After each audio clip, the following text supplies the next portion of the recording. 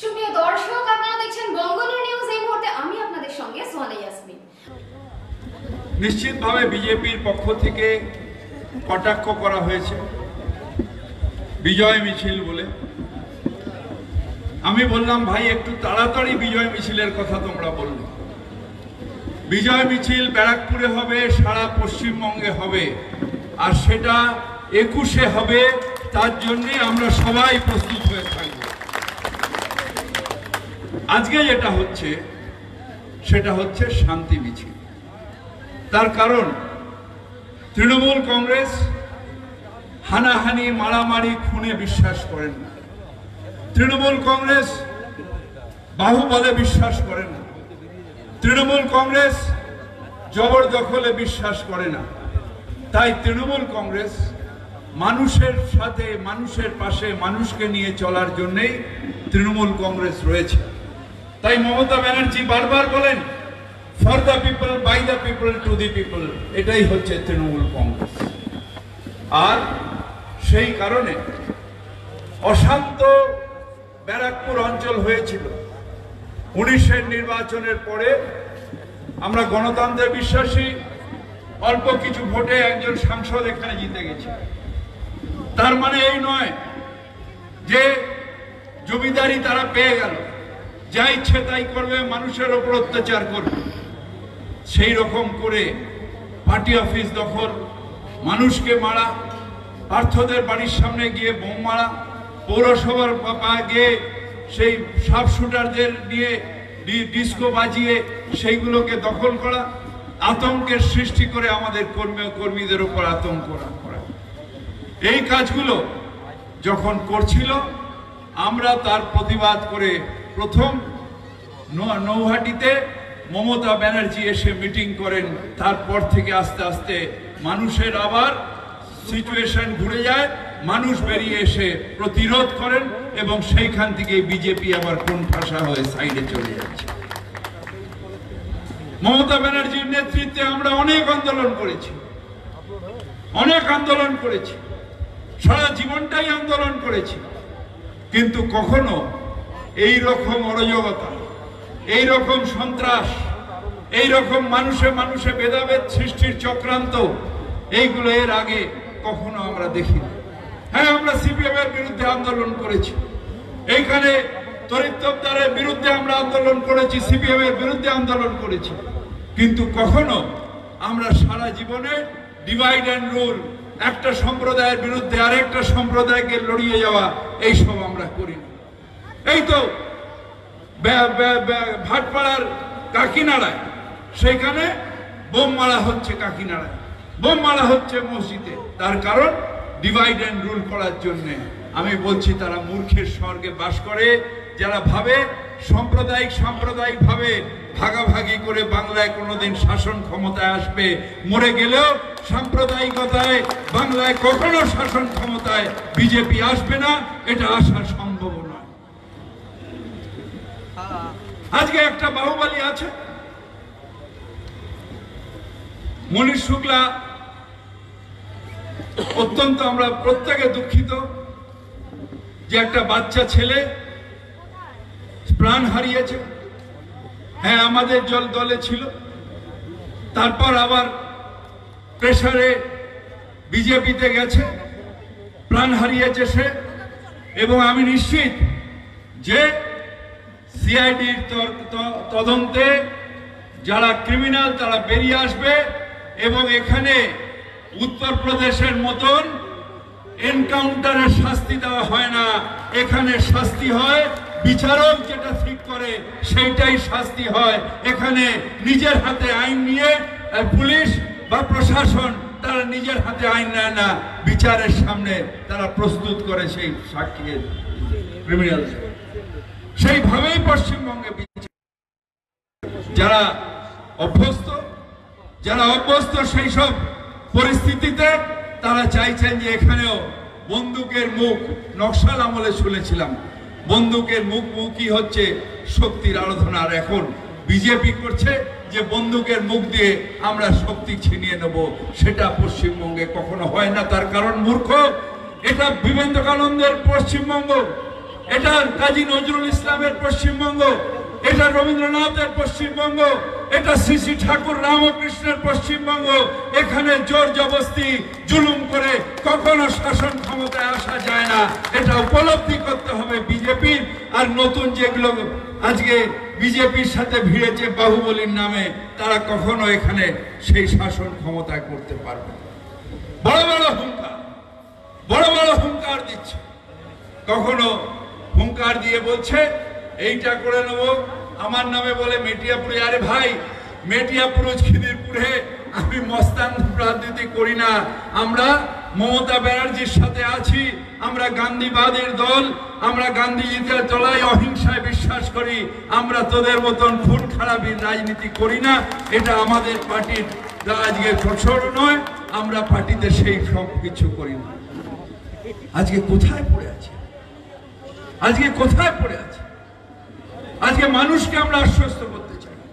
যে হ্যাঁ শাসন ক্ষমতায় তৃণমূল কংগ্রেস রয়েছে, মমতা ব্যানার্জি মুখ্যমন্ত্রী, কিন্তু আমরা মানুষের সেবক হিসেবে কাজ করছি।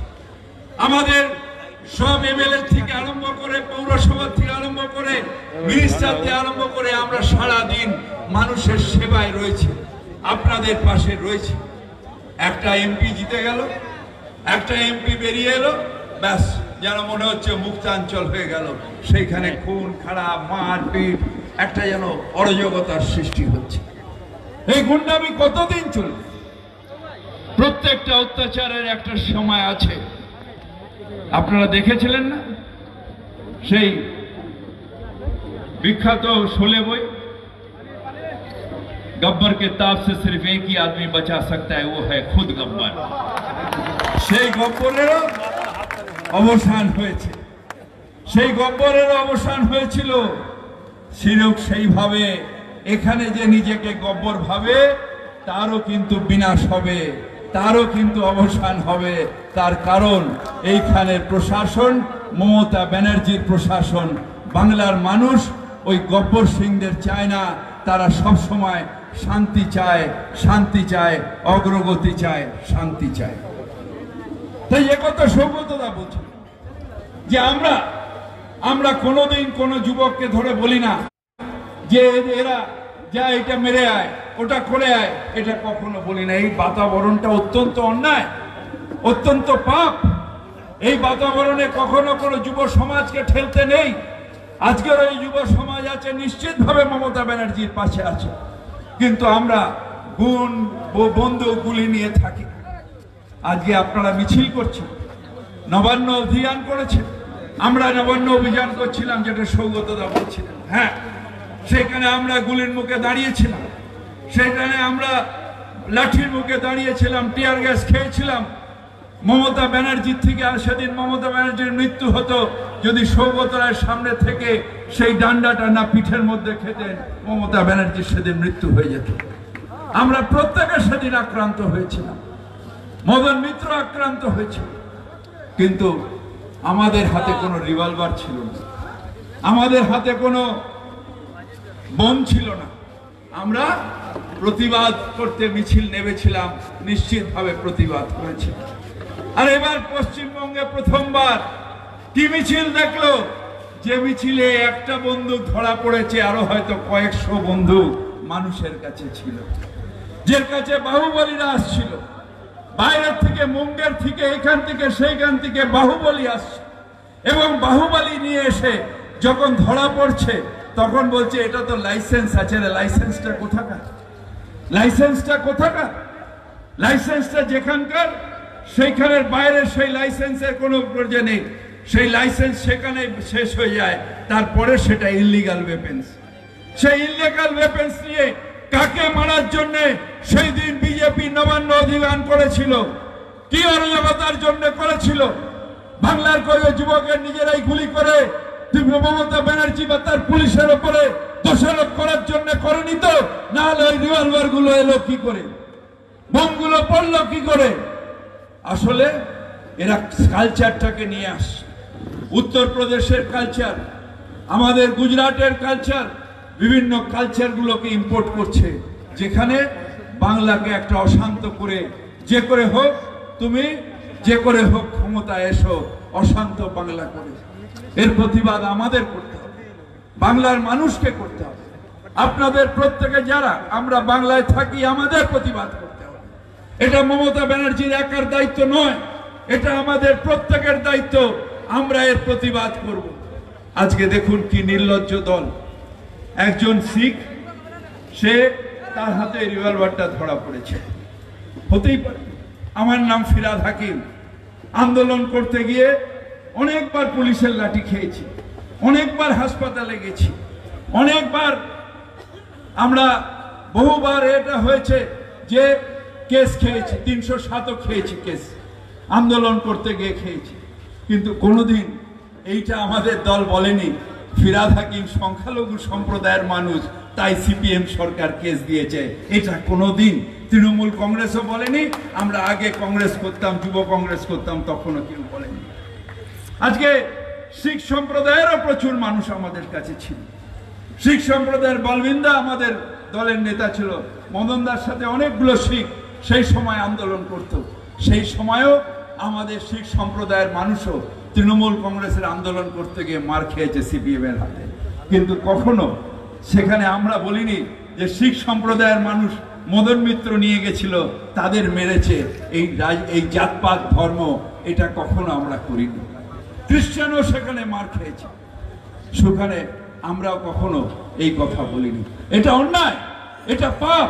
এই সুশ্রী ধর্মের সুশ্রী দিয়ে যারা রাজনীতি করে, এটা অন্যায়। এটা ভারতের সংবিধানের নয়। যারা সংবিধান মানে না তারাই এই কাজটা করে, তাই তারা শুধু বিজেপি সাম্প্রদায়িক দল নয়, আজকে তাকে বলতে সংবিধান বিরোধী দল, তার নাম বিজেপি